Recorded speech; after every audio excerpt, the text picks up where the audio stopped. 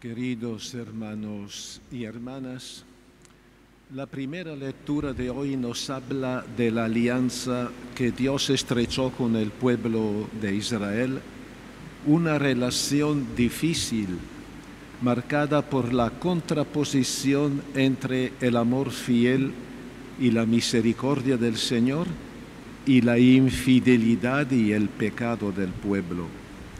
Todos los jefes de Judá los sacerdotes y el pueblo multiplicaron sus infidelidades, imitando todas las abominaciones de los paganos.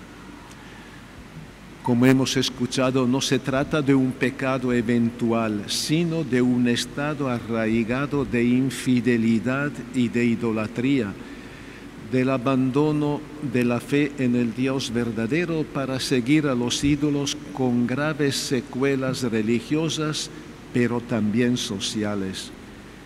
De hecho, en Israel, al dejar a un lado a Dios y a sus preceptos, se había instaurado un sistema social perverso sin referencia moral, donde imperaban las luchas fratricidas, las divisiones, las injusticias, y la opresión de los pobres. Esta situación se debe al hecho que la idolatría no solo nos separa de Dios, sino que es una terrible fuerza disgregadora de la sociedad. A pesar de tanta traición y de tanta maldad del pueblo, Dios, fiel a la alianza, intentó corregir ese rumbo equivocado. El Señor les llamó constantemente la atención por medio de sus mensajeros porque tenía compasión de su pueblo. Pero ellos dejaban a los mensajeros de Dios, despreciaban sus palabras y ponían en ridículo a sus profetas. Como hemos visto, el pueblo no solo hizo caso omiso a los profetas, sino que se burló de ellos y de la palabra de Dios, provocando la catástrofe total del país. El ejército invasor de los babilonios derribó las murallas de Jerusalén, la ciudad capital, destruyó el templo, símbolo de la religión y de la misma identidad del pueblo sembró desolación y muerte por todo el país y deportó en esclavitud a los supervivientes. El potencial de muerte que encierra el pecado es aterrador, arrastra a todos en el abismo, incluso a los inocentes. Y cuando la suerte de los judíos parecía echada para siempre, Dios se hizo presente como liberador por donde no se lo esperaba. Ciro, rey de Persia, por tanto un pagano, restituyó la libertad a los deportados y los devolvió a su tierra. Dios siempre está presente en la vida e historia del ser humano tanto en el momento de oscuridad y debilidad como en el renacer de la esperanza. Este gesto de amor de Dios para con el pueblo elegido es un signo patente de su amor sin límites para con la humanidad entera. Él no nos quiere esclavos del pecado y de la muerte, por el contrario, quiere nuestra vida plena y libre de todo mal, como nos dice Jesús en el Evangelio de hoy. Sí, sí, Dios amó tanto al mundo que entregó a su Hijo único para que todo el que cree en Él no muera, sino que tenga vida eterna. Dios amó tanto al mundo.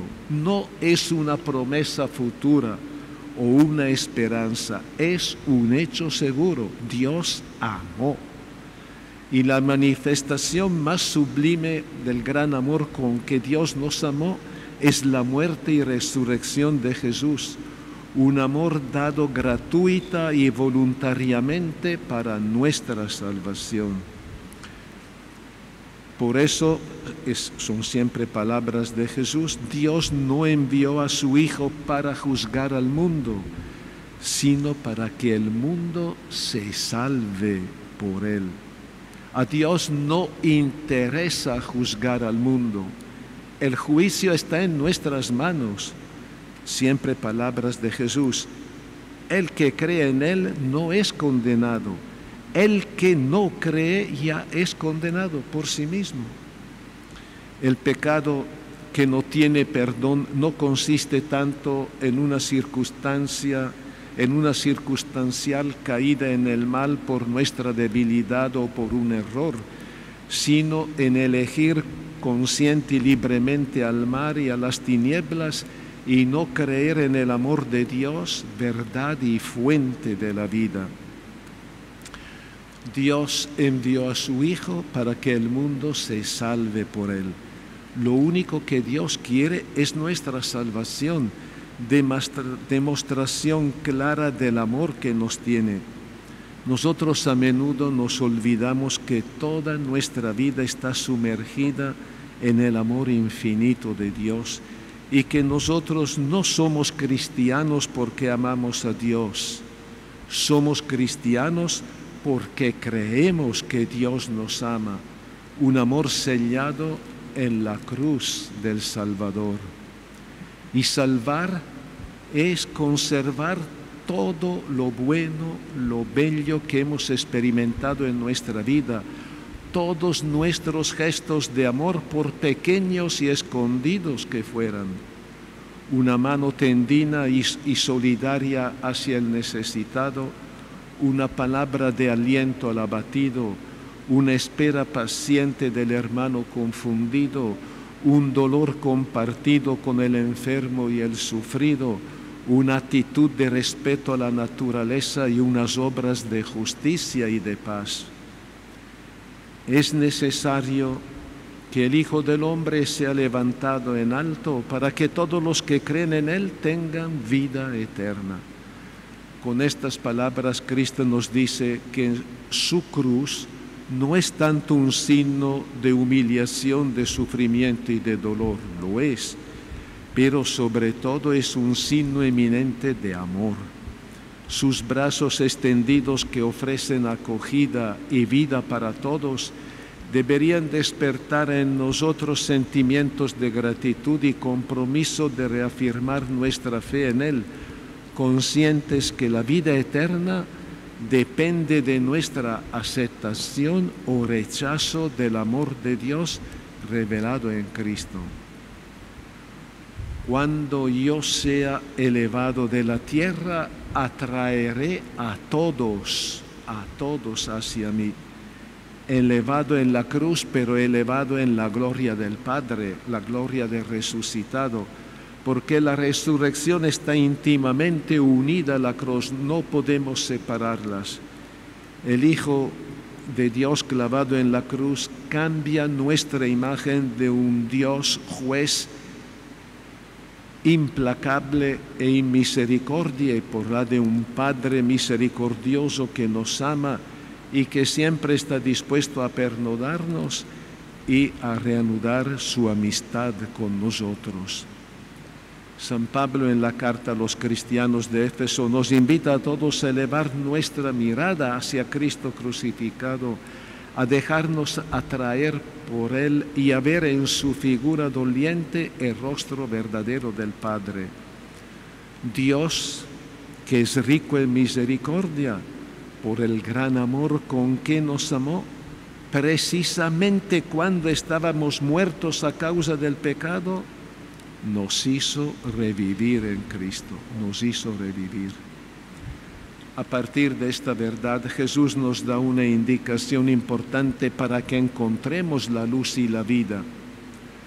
Todo el que obra mal odia la luz y no se acerca a él. El que obra conforme a la verdad se acerca a la luz. Jesús nos pide a cada uno de nosotros obrar conforme a la verdad y a la voluntad de Dios, dando un testimonio coherente de, de, los auténticos valores evangélicos de la solidaridad, la justicia y la paz, tanto en nuestra vida personal y comunitaria como en la social. Obrar conforme a la verdad no parece ser el parámetro con que se actúa en nuestro tiempo, en nuestro país, por el clima de confrontación que vivimos entre todos y por el ánimo de revancha de grupos de poder ante los hechos de fin de año del 2019 se pretende tachar de golpista al pueblo y a sus representantes que defendieron al voto ciudadano y a la democracia, mientras que se presentan como víctimas a los autores del fraude. Los obispos de Bolivia, preocupados por esta situación de tensión, hemos hecho público ayer un comunicado, lo escucharemos al final de la misa con ese título, La democracia exige respeto de los derechos humanos. En él denunciamos la persecución política y la aprehensión de exautoridades y hacemos un llamado al respeto del debido proceso y la inmediata puesta en libertad de los detenidos. También invitamos a los poderes del Estado plurinacional a desistir del control total del poder de la revancha y de la persecución.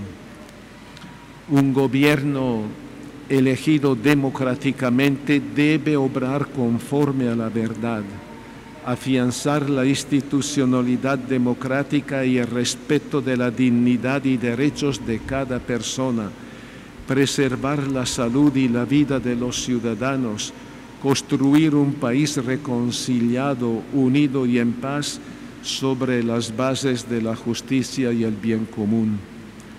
Que el Señor nos guíe a todos y nos conceda obrar conforme a la verdad. A todos y cada uno de nosotros obremos conforme a la verdad.